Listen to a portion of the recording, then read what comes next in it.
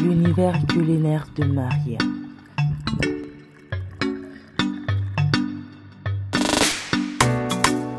Je suis des parfumés à la.